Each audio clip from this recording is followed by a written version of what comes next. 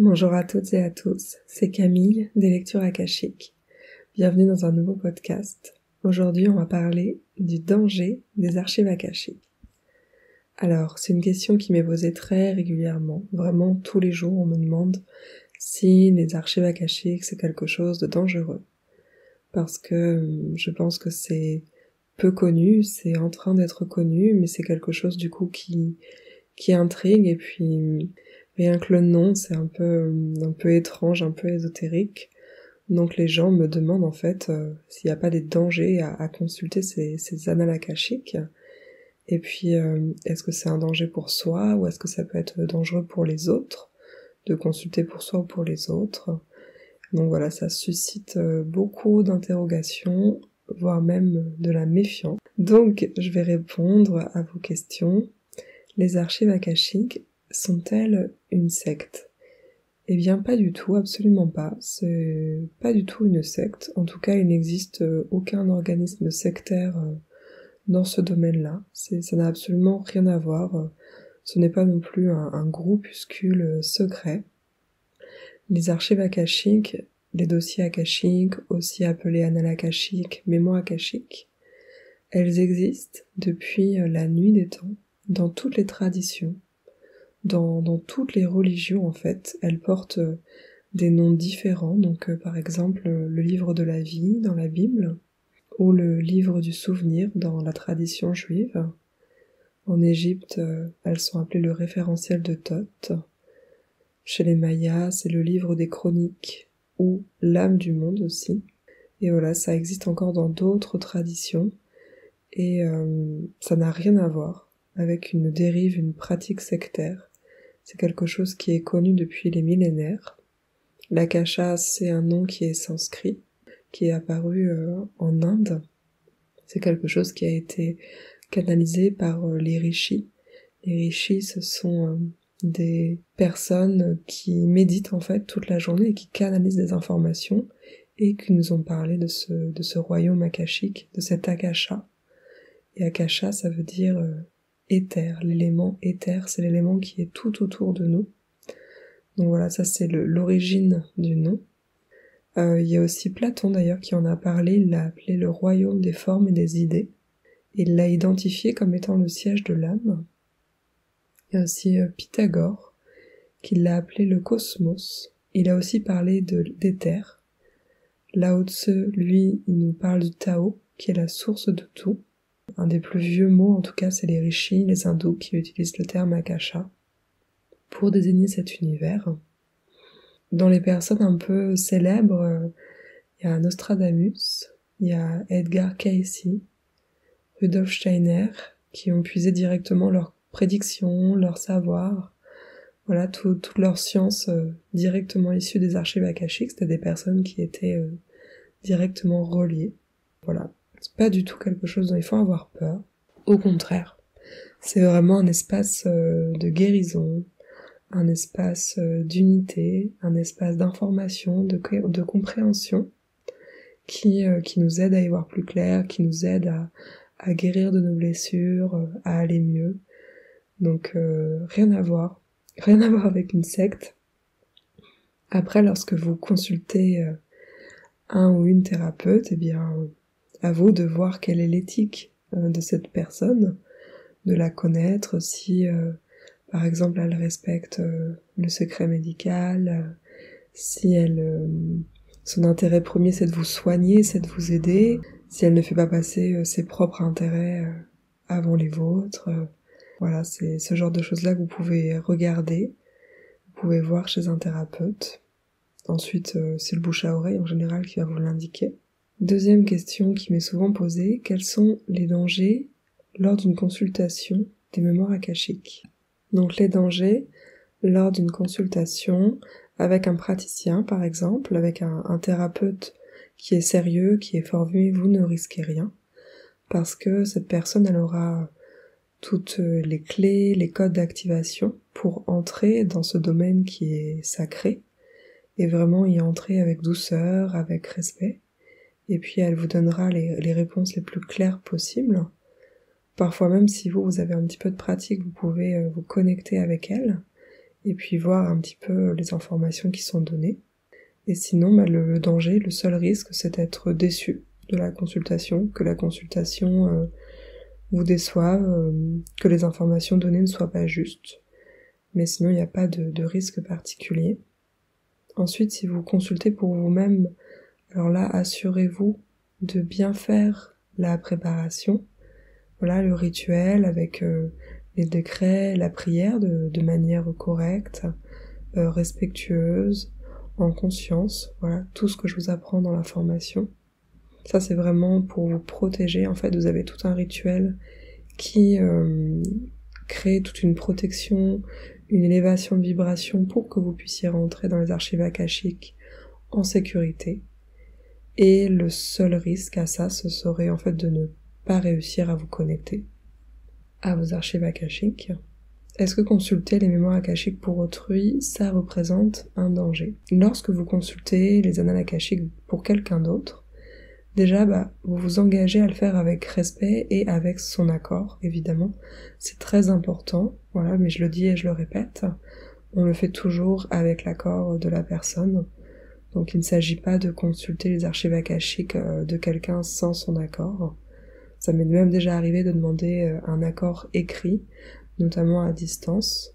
Et euh, j'ai même déjà remboursé hein, une personne qui voulait consulter les archives akashiques de son mari, mais qui me l'avait pas dit au début. Et bah, j'étais pas d'accord avec ça, et du coup, j'ai remboursé la personne. Donc jamais on ne consulte les dossiers akashiques de quelqu'un sans son accord. Et puis une fois que vous avez sa permission, bah, vous vous engagez à canaliser les informations les plus justes possibles, à poser uniquement les questions que la personne vous demande. Vous n'allez pas euh, fouiner ou poser des questions par curiosité, évidemment. Bon, ça, c'est aussi de l'éthique, hein. ça paraît évident comme ça, mais voilà, faut faire attention, parfois il y a certaines personnes qui pourraient être mal intentionnées. Et puis ensuite, c'est euh, le secret professionnel de jamais divulguer ce qui est dit en séance. Voilà, ce qui se passe en séance, ça reste en séance. Et puis on, respecte aussi la personne qui consulte. Euh, on, on, accueille, on ne juge pas sa problématique ou son chemin de vie. Ça, c'est des choses qui sont normales pour un thérapeute, mais bon, il s'agit aussi de, de les répéter, c'est important d'en parler. En médecine, on parle de primum non nocere, donc on ne nuit pas au patient, et c'est le patient qui, qui passe avant tout en fait. On fait tout pour lui venir en aide, pour l'aider à régler sa problématique, à répondre à sa demande. Donc ça peut être ce, principe-là. En tout cas, moi, c'est le principe qui me guide, euh, parce que bah, j'ai fait des études médicales, et c'est peut-être quelque chose qui peut vous aider. Le primum non nocere. Même quand vous cherchez un thérapeute, vous voyez un petit peu euh, quelle est la comment dire, la capacité euh, d'écoute, la capacité d'accueil, euh, la, la vibration du thérapeute, si vous voyez qu'il est dans cet esprit-là. Après, quand on consulte pour quelqu'un d'autre, c'est aussi, on se connecte toujours au la akashique avec euh, une intention positive, une intention bienveillante de, de guérison et d'aide pour la personne qui vient consulter. Mais sinon, est-ce que consulter les mémoires akashiques pour autrui, c'est un danger? Eh bien, si vous respectez tout cela, non, il n'y a pas de danger. Est-ce qu'il y a certaines questions qui peuvent mettre en danger? Non. Si vous vous connectez en respectant tout ce que je vous ai dit avant, il n'y a pas de souci en fait. Les questions, elles doivent être posées de manière claire, de manière euh, précise. Donc toujours des questions euh, pour vous, si vous consultez, jamais bien sûr pour quelqu'un euh, qui ne vous l'a pas demandé. Moi, ce que je vous conseille pour bien diriger la question, c'est de le dire à haute voix avec vraiment une intention, euh, de la bienveillance, des émotions positives, et de ne pas avoir peur de poser des questions, vraiment d'être à l'aise avec toutes les questions, vous pouvez euh, dialoguer, vous pouvez leur demander tout ce que vous voulez, vous pouvez exposer vos craintes, vous ne serez jamais jugé. Les archives akashiques, elles sont vraiment là pour vous aider. Donc vous pouvez vraiment vous adresser à elles sans crainte, sans danger, et poser toutes les questions que vous avez besoin de poser. Est-ce que on peut être banni des archives akashiques Alors bah oui, en effet c'est un, risque potentiel. Hein. Il y a certains euh, praticiens qui ont déjà fait euh, de l'abus de pouvoir sur euh, leurs patients, se sont déjà vus fermer au nez les portes des archives akashiques par les maîtres des dossiers en fait qui gardent les archives. Et dans ce cas en fait c'est-à-dire qu'ils n'y ont plus accès du tout, ils restent en fait euh, à la porte, on ne leur permet plus d'entrer. Et ça c'est vraiment pour des praticiens qui ont abusé, des personnes qui n'ont pas du tout euh, respecté les règles. Je ne pense pas que ça vous concerne, c'est rare d'être banni des archives, mais ça peut arriver si euh, vraiment dans vos vies karmiques c'est quelque chose que vous avez utilisé à mauvais escient. Voilà, ça peut arriver. Après, c'est quelque chose euh, dont on peut guérir facilement au niveau du karmique. Et puis ensuite, pour être sûr de bien les ouvrir, eh bien, bah, faites-vous former. Utilisez euh, les bons outils, le rituel, la prière, vraiment les bonnes méthodes pour bien vous connecter euh, au dossier akashique. Est-ce qu'on peut ramener des entités ou du bas astral des archives akashiques? Alors, si vous avez bien suivi le décret si vous avez bien récité la prière de lumière, qui est encodée de langage lumière, alors non, il n'y a aucune possibilité d'être connecté au bas astral. Après, si vous vous connectez euh, trop rapidement aux archives akashiques, donc euh, vous faites pas le rituel de préparation, euh, vous faites pas le, décret, vous, vous squeezez un petit peu tout, vous allez un petit peu vite, euh, bah alors oui, vous pouvez être connecté en fait à un espace un peu plus bas en vibration avec des personnes plus basses en vibration, euh, voilà, qui vont pas vraiment vous aider ou qui vous vont perdre ou tout simplement vous aurez pas de réponse. Donc si vous allez un peu vite, oui, vous pouvez euh, être mal connecté en fait.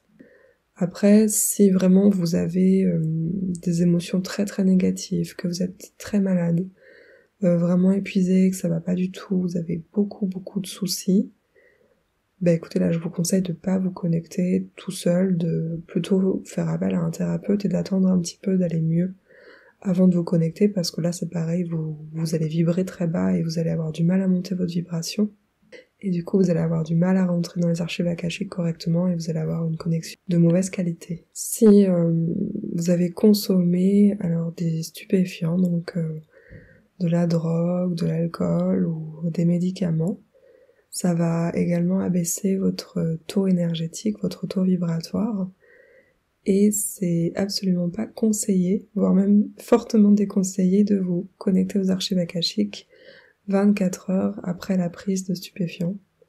Parce que ils vont fausser vos perceptions de connexion. Ils vont fausser vos réceptions. Et ça fragilise en fait les corps subtils, les chakras, l'aura et c'est par là que vous allez euh, capter plein d'informations. Donc du coup c'est déconseillé, euh, c'est interdit hein, d'ailleurs euh, par certains formateurs de consommer quoi que ce soit 24-48 heures avant une connexion aux archives akashiques. Comment savoir si on est bien connecté aux annales akashiques et pas dans le bas astral? Alors dans les archives akashiques, il y a vraiment une haute vibration d'amour et de bienveillance. On est vraiment tiré vers le haut, on est guidé vers l'évolution. Il n'y a pas de jugement du tout. Il n'y a aucune injonction. Euh, il n'y a pas d'ordre. Ce, sont seulement des conseils ou des propositions de direction à prendre, des différents choix qui vous sont proposés. Et vous êtes aidé, vous êtes soutenu. On ne vous dit pas euh, ah non vous aurez pas dû faire ça, c'est pas bien. Il n'y a pas du tout cette histoire de, jugement.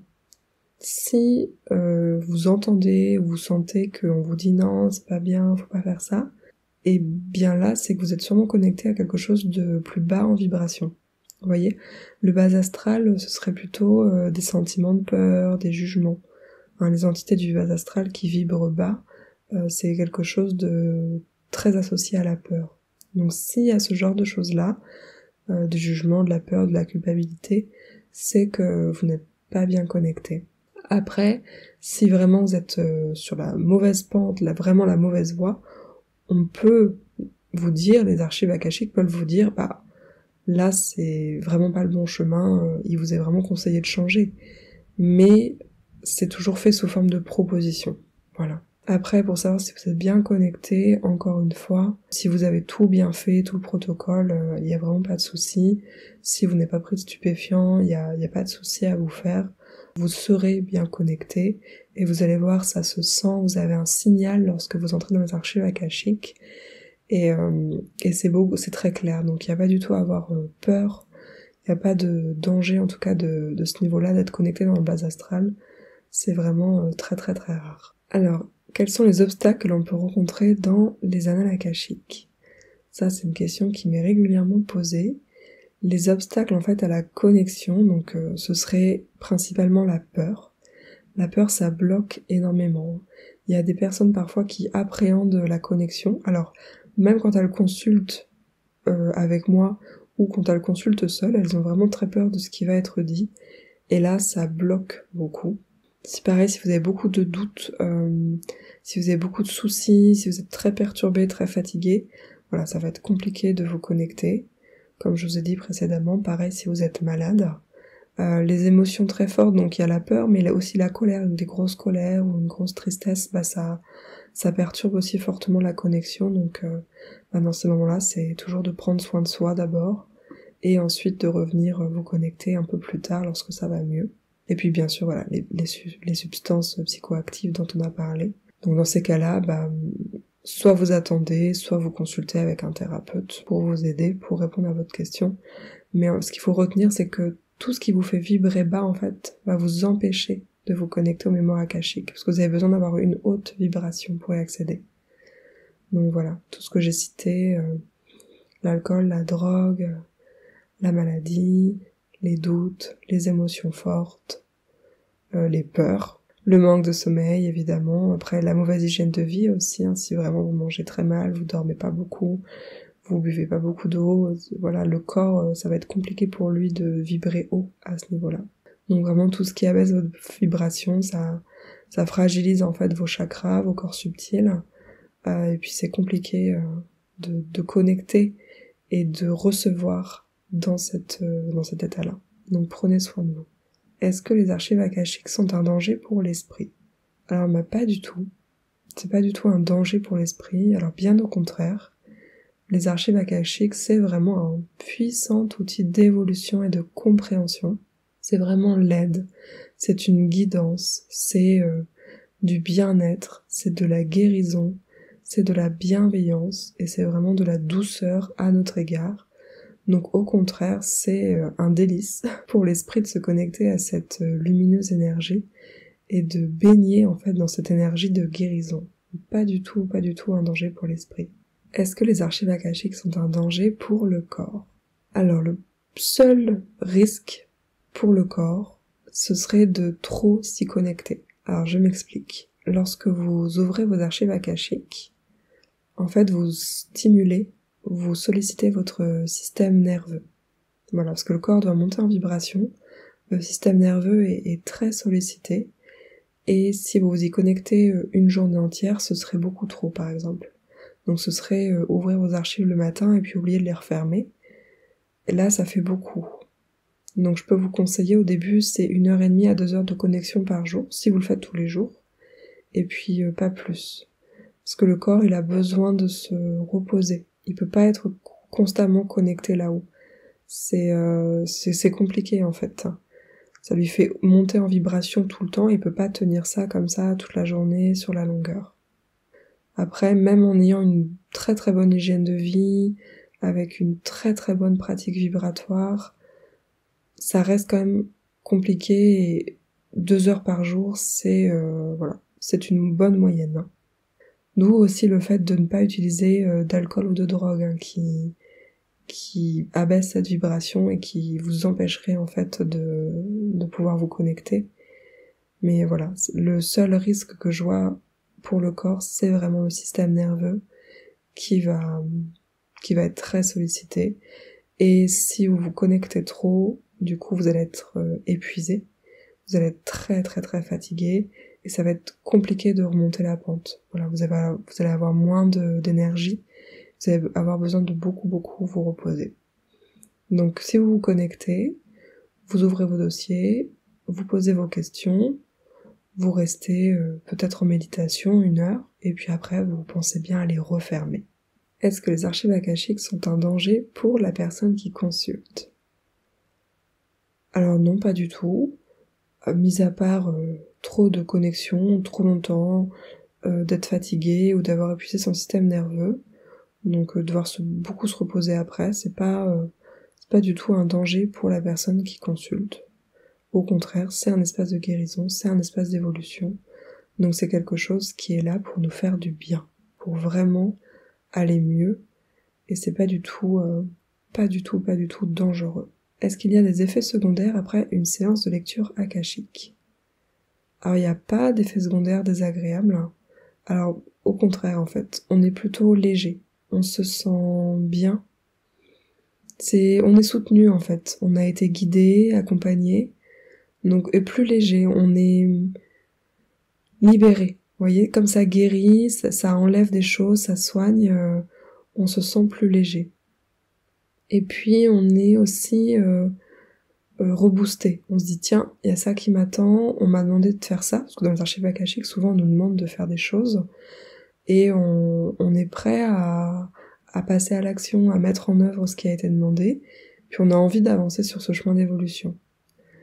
Il peut vraiment y avoir une légère fatigue, mais c'est vraiment si la séance a été très très très intense et euh, que les informations qui ont été données ont été très très denses. Voilà, ça peut mobiliser beaucoup de choses au niveau énergétique, mais c'est quand même une fatigue plutôt agréable, libératrice. Voilà, c'est une bonne fatigue, c'est pas quelque chose euh, qui vous plombe, euh, qui vous couche au lit pendant plusieurs jours. Hein. Pas du tout, pas du tout. Est-ce qu'il y a un danger d'incompréhension, de mauvaise interprétation? Alors, il est possible que vous n'ayez pas assez élevé votre vibration ou que vous n'étiez pas très bien avant de vous connecter aux mémoires akashiques et que si vous êtes fatigué ou bien malade, vous allez mal canaliser les informations données, vous allez mal comprendre et du coup bah oui vous pouvez vous tromper, vous pouvez euh, mal interpréter. Donc euh, c'est possible, oui. Vous pouvez aussi mal entendre, euh, mal voir ce qu'il vous montre. Si vous êtes fatigué, bah, c'est sûr que c'est compliqué. Donc euh, dans ces cas-là, bah, si la connexion elle est perturbée, euh, si vous sentez que vous n'êtes pas juste dans vos sensations, euh, si vous avez des soucis, des, vous avez le mental qui qui vous parle sans arrêt, qui tourne en boucle, vous sentez que vous n'êtes pas aligné, eh bien vous, pareil, vous arrêtez la connexion, vous refermez les archives et puis vous revenez à un moment où vous vous sentez mieux, où vous avez euh, médité, vous êtes reposé, vous avez mangé, vous avez bu de l'eau, euh, vous avez été faire un tour en nature, et puis voilà, vous vous reconnectez euh, un peu plus tard. Donc oui, c'est possible, c'est un risque qu'il y ait une incompréhension et des mauvaises interprétations. Est-ce que l'on peut modifier le cours des choses? Alors, rassurez-vous, absolument pas, on ne peut pas modifier le cours de l'histoire, on ne peut pas modifier le passé, on ne peut pas modifier euh, les vies antérieures, voilà, ce qui est passé est passé. Euh, c'est comme ça, on ne peut pas le faire.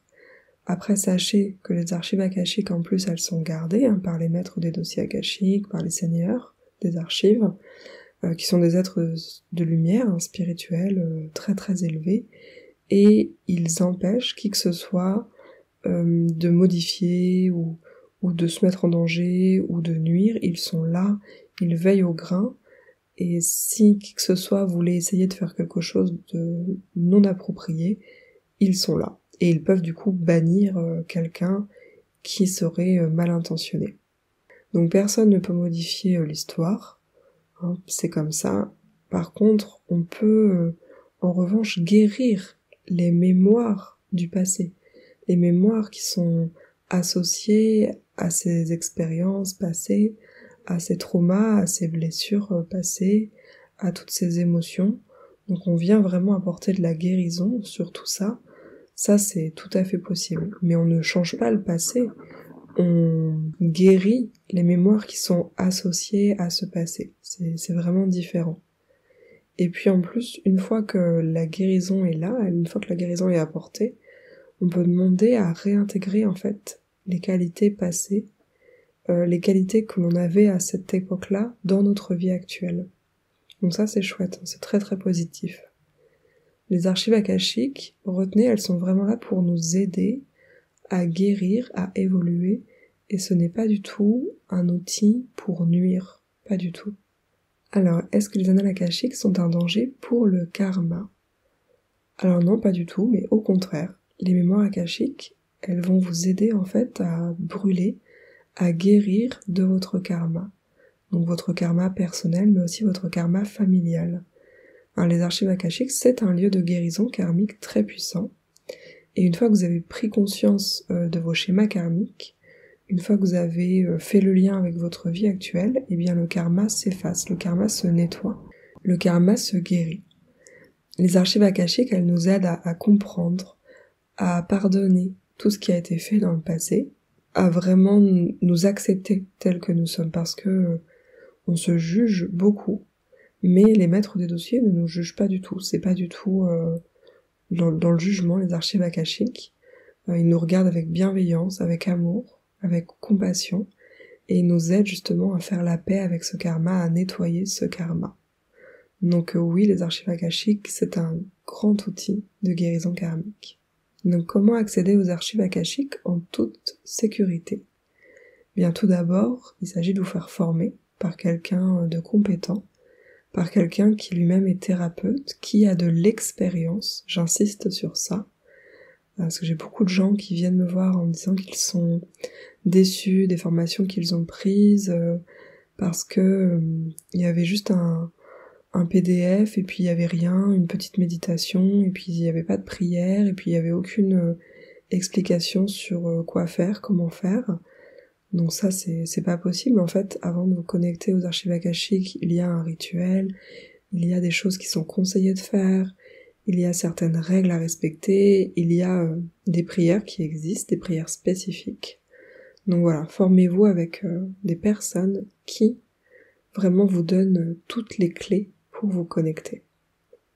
Vous pouvez donc vous connecter sans danger aux annales akashiques, sereinement, avec ce rituel, cette prière encodée de langage de lumière, et puis bah, profiter surtout des énergies euh, de guérison des archives akashiques.